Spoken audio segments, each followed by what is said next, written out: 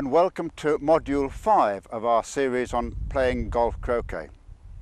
In this module we're going to be looking at handicap play.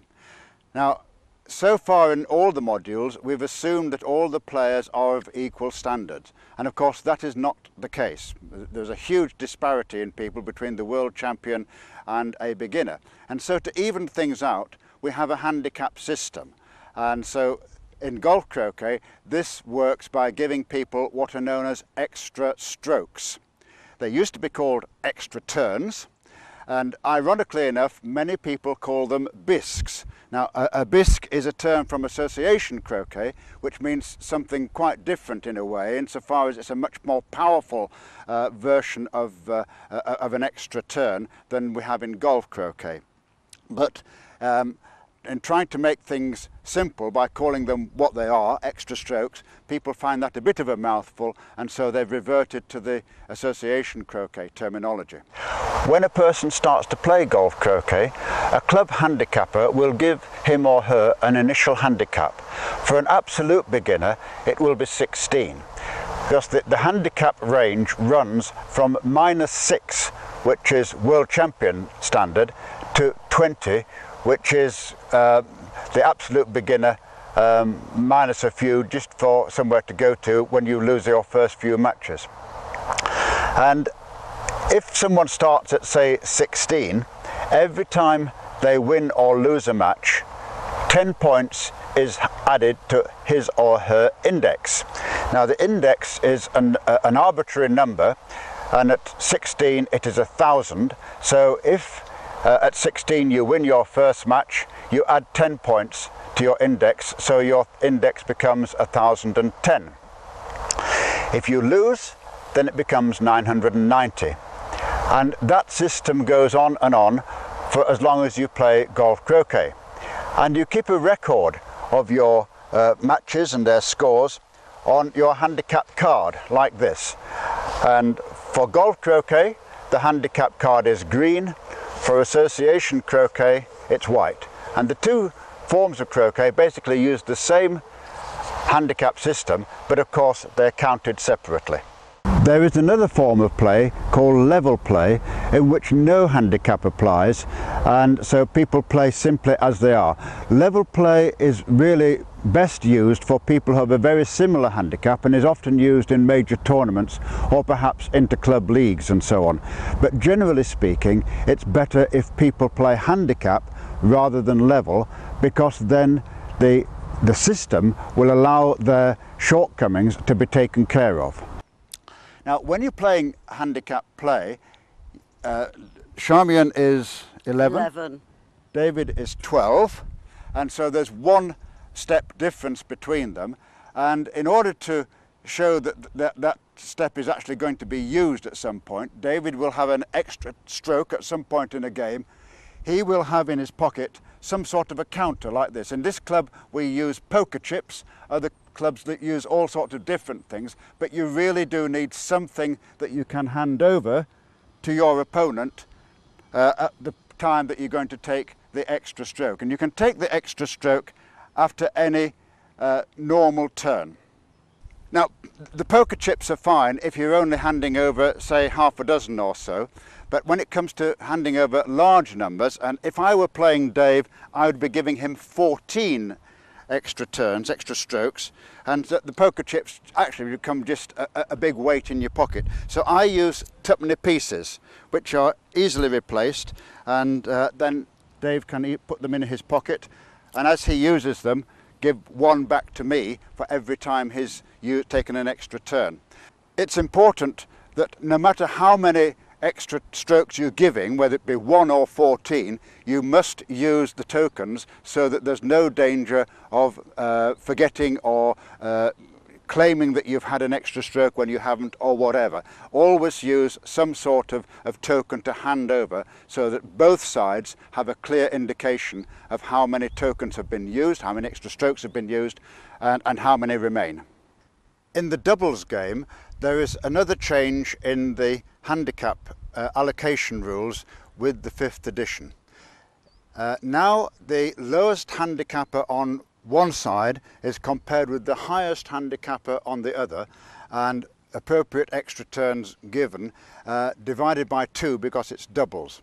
So on this side Dave is 12, Charmian is 11 and Keir is 7 and Warwick is 10. Dave is compared with Keir and Charmian is compared with Warwick. So Keir's handicap is 7, Dave's is 12, a difference of 5. Uh, for doubles that's divided by 2 which gives 2.5 and because you can't have half an extra turn um, Dave's 2.5 is rounded up to 3 so he gets 3 extra turns. Charmian is 11, Warwick is 10 so the difference is 1 but again you can't have uh, half an extra turn so Charmian is given also um, one extra turn. Now, the thing is that both these players have been given an extra half an extra turn. So they would have, if, they, if that was allowed, to have an, a whole extra turn between them. They, you can't actually do that. So one of them chooses not to have the half extra turn. And it's up to them to decide which one it is. So whether it's Dave or Charmian, Charmian would have no extra turns and Dave would keep his three or Dave would go down to two and Charmian would keep her one. It's up to them to decide. So what are you going to do folks? Uh, we'll have, I'll have one if you don't mind because it gives us so, versatility. There we are. So the system works in, itself out. It's important to remember that in doubles extra strokes can only be taken by the person that they're allocated to. They are not there for either player to use. So we've looked at allocation of uh, extra turns. How do we go about use, using them? Well, broadly speaking, the uh, possible uses of extra turns falls into three categories depending on how many extra turns are being given and received. If you're giving or receiving three or fewer extra turns, it means that the two players are of a similar standard and that you should be able to, if you're receiving the extra turns, you should be able to hold your own throughout much of the game. So therefore, use the few extra turns that you've got in killer spots. For example, on one or two of the later long hoops, perhaps on hoops uh, 8 and 9 or 9 and 10, and certainly if it goes that far to hoop 13 keep one in your pocket for hoop 13 but don't lose the game at hoops 11 or 12 if you've still got an extra turn in your pocket. If you're giving, say, between or receiving between four and eight extra turns, it means there's a, a, bit of a disparity between the players and that you should therefore look at using the extra turns uh, th almost throughout the game and don't think that you should keep them right to the end. That can be fatal because you may have lost the game by then. So use them to, to create attacking advantage on the longer hoops and starting right at the very beginning of the game. Hoop one is, is 21 yards from corner four and if you can put a ball straight in front of hoop one using an extra turn, that's quite a big ask for someone when they possibly haven't quite got their eye in. And similarly, if you uh, lose hoop one, then with your first ball, go down to hoop two and put your ball straight in front of the hoop. Similarly on hoops 3 and 4 and then on hoops 8, 9 and 10.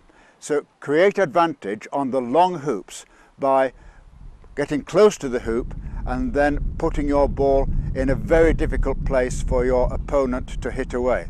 Because what you're doing is forcing your opponent to play a shot that he doesn't want to play. Your opponent would much rather play up to the hoop with a nice approach shot put his ball straight in front of the hoop. He doesn't really want to be, have to be shooting at your balls because the chances are that he'll miss and end up out of position. So force him to do things that he doesn't want to do. If you've got nine or more extra turns, you are in potentially a strong position if you have got the ability to hit balls away hard and fast. And Uh, if you can do that, you can spare to use at least one extra turn on virtually every hoop of the game. So if your opponent, uh, who's going to be much better than you, gets a ball in front of the hoop, get up to that ball with one turn and then using an extra turn, hit a ball away, which creates a lot of problems in terms of rebuilding a, position to run the hoop again. So you've got the opportunity to take control of the game to some extent and you can ma manipulate your much better opponent than you better than you might think actually. I hope it goes without saying that on an extra turn you continue using the same ball that you've used in the normal turn. If perchance you should play a wrong ball on an extra turn shot, then replace and replay applies. So in other words, if you've played um, the, the, the, a wrong ball with your extra turn, you put it back and then play the correct ball.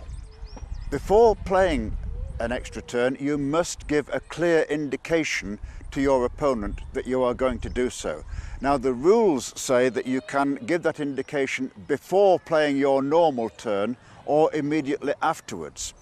Personally, I think it's best if people do not say anything before they play their normal turn. Wait to see how that turn transpires and make a decision on the basis of where the balls lie after the normal turn before taking the extra stroke. Because if you announce to your opponent that you're likely to take an extra stroke before your normal stroke, psychologically there is almost an, a, a requirement it's not real, but it's psychological to go on and take that extra, extra stroke. And I think it's far better just to play your turn, see how, what happens, and then indicate to, the, to your opponent that you're going to take an extra stroke. And I, although the rules don't say this, personally I think it's best to use the association croquet system of indicating uh, what would be a bisque in AC uh, to put your hand up. Then it's quite clear that you are going to do something different and it forestalls the opponent from playing. If your opponent plays before you have indicated that you are going to take a, an extra stroke, then you should forestall the opponent and then take your extra stroke, then he replays the shot that he would have otherwise taken. You can also take an extra turn if you've committed a fault, but if in that particular case you decide to play an extra turn, the balls must be put back into the place where they were before the fault was committed, rather than at the situation where you've played a fault, the balls have gone somewhere else, and then you take an extra turn. You may not do that. Taking an extra turn means putting the balls back and taking it from there. If you decide to take an extra stroke, you can change your mind and say, no, after all, I'm not going to take an extra stroke. But if you say to your opponent, I'm not going to take an extra stroke, you may not then change your mind in favour of taking one. So we've had a look at how extra strokes are allocated and if I'm going to play Keir, who's a seven, he would get nine extra strokes. So there, those are his nine counters. Mm-hmm. And so we're now going to have a little look at how to use them to best effect. And generally speaking, you should use them to attack rather than to defend. And we'll show you some examples of how to do that. So Keir's won the toss, and so he's going to play his blue ball across to hoop one.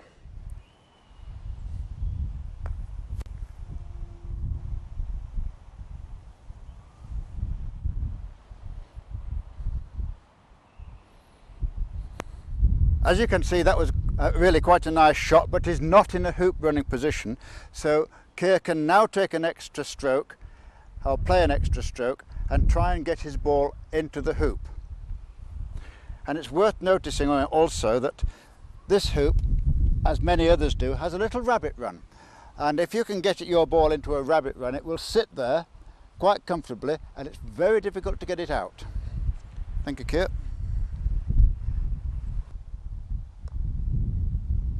Keir has got his ball quite nicely uh, and tight on the hoop, which makes it very difficult for the next player to hit away.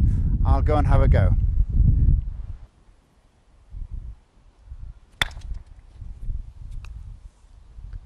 As you saw, I missed, not by very much, but it was a miss. And of course, I would have another go with my yellow. So Keir is very nicely placed both to get his ball through this hoop and actually, with a good hit, to get it right the way down to hoop two. So we'll let him have a go at that as well.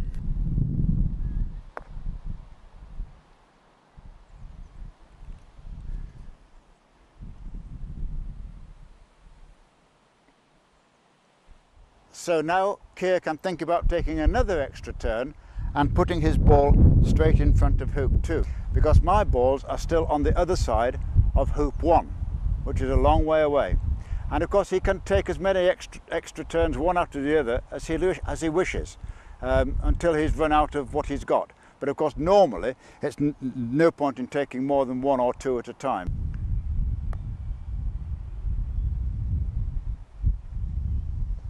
As you can see, Keir's put his ball into the hoop. It's actually beginning to run the hoop. A very powerful position. Uh, to all intents and purposes, it's impossible for the opponent to hit that away. Uh, so Keir has effectively scored another hoop. One important fact to note about extra stroke turns is that you may not score a point for your own side. So if you're trying to put a ball uh, close to or into a hoop and it runs through the hoop, then that point does not count. Uh, but of course you could take another extra stroke and pop your ball back onto the live side of the hoop for the next turn. Conversely, if you accidentally put your opponent's ball through a hoop in an extra stroke turn, you will score a point for your opponent. So you need to be careful when you're operating close to hoops with extra strokes. But of course you can be 99% of the way through a hoop without actually having run it. So getting your ball into the jaws and partway through the hoop is actually quite a good idea. So is there any counter to the extra shot turn where a ball has been put directly in front of a hoop? Here we are at hoop 10 and the blue ball is straight in front of the hoop. So this is hoop 9 and by slight serendipity my two balls, the red and the yellow, have ended up more or less in line pointing down towards hoop 10. So I can promote the yellow ball with the red in order to get the yellow down towards that ball which is in front of hoop 10.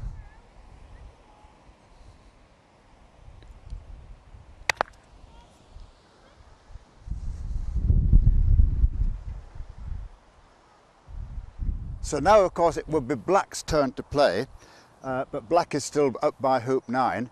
And when it comes to yellow's turn, yellow has the choice of either snicking blue out of the way or even trying a jump shot at the hoop. The safest thing is actually just to nick blue and get it out of the way of the hoop. Uh, if you miss the jump shot, you've given blue the hoop.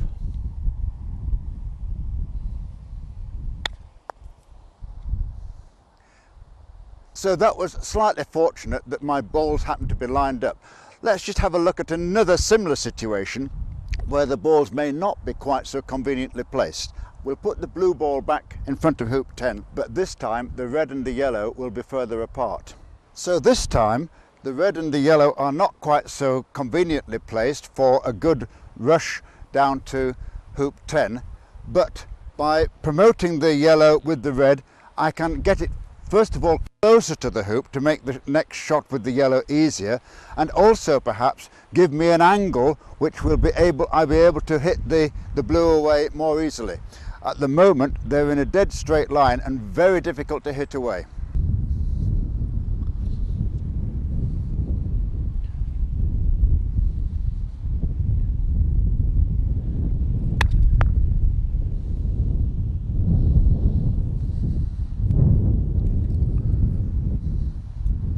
So this time yellow is not quite so handy for hitting the blue away but I still feel reasonably confident about getting that shot.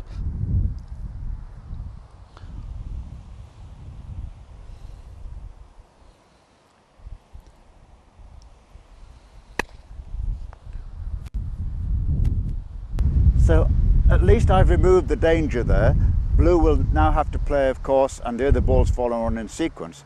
And more particularly, in a way, I've um, managed to negate one of the extra shots that my opponent had. So I then put myself back in contention again. Not all promotions need to be of that long range variety. Here we are at hoop six and it's uh, red to play, red, but neither of my balls, red or yellow, has in any way got a hoop shot. Black and blue are quite difficult, but I can promote my yellow ball again with the red and hopefully get both balls in front of the hoop.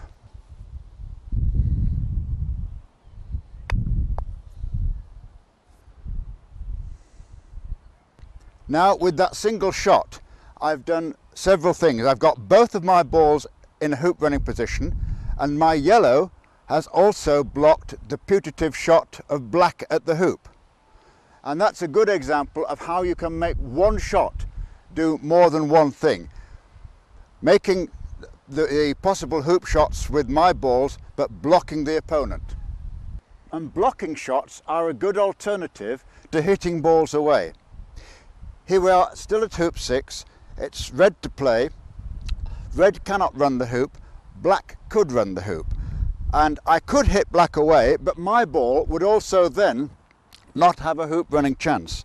So I can block black's path to the, to the hoop.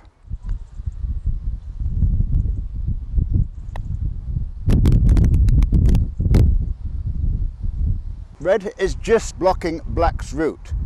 If black were to try for the hoop, he would just clip the edge of red. And when you're trying to block a ball, it's best to play up as close as possible to the ball that you're trying to block because anywhere in that triangle would block black's progress to the hoop. If you try and play straight across the line, you don't have very much room for error. It's just like when we looked at running balls across the face of the hoop. Play up close and then you give yourself a reasonable chance. We've looked at examples of how to use extra strokes to attack. Here is one uh, using an extra stroke to defend. Both Keir's balls are, are, are uh, on the playing side of the hoop. This is hoop six, but my red ball is in the hoop and ready to run it. So Keir really needs to get that ball out. And he's not terribly keen on jumping, so he's going to show us how to do a defensive extra stroke shot.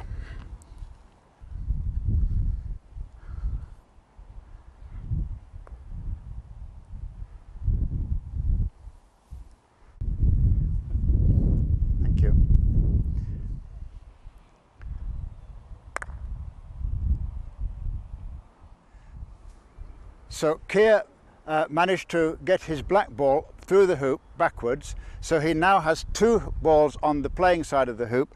My red ball is well down the lawn and my yellow ball is slightly wired from both of his back balls. So he's put himself into a very powerful position with that extra stroke.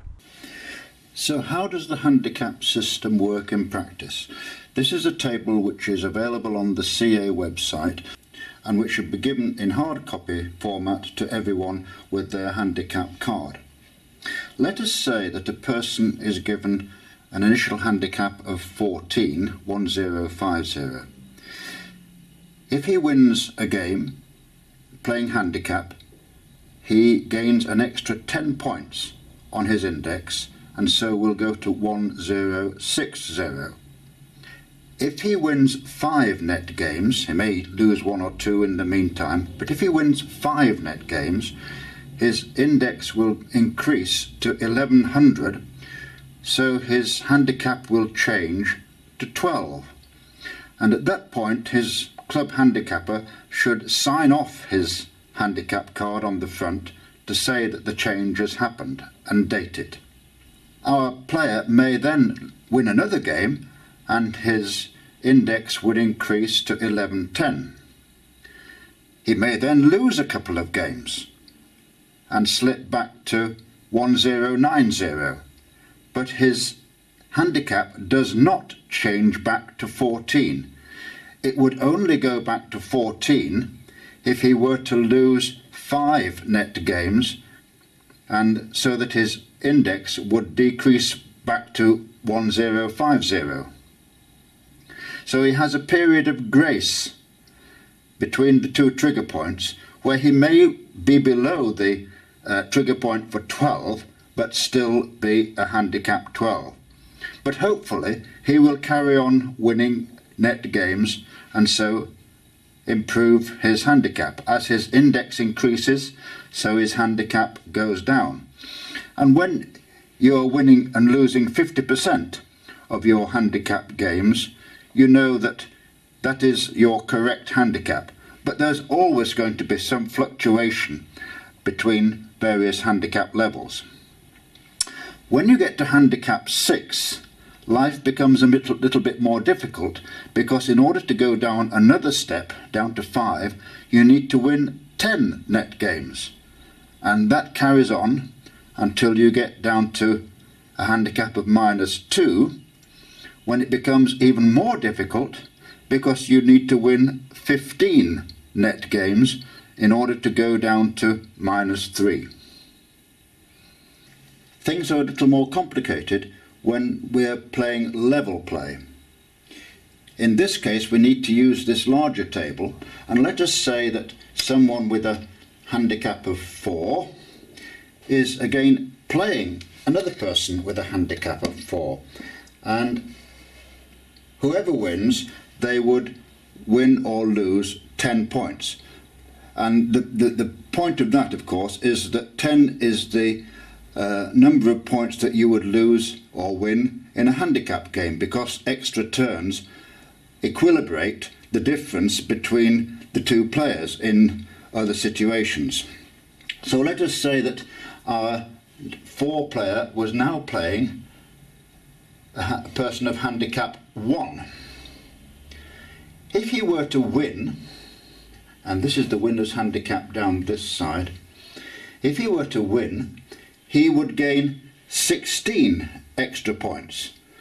And the handicap 1 player, and this is the loser's handicap, the handicap 1 player would lose 16 points.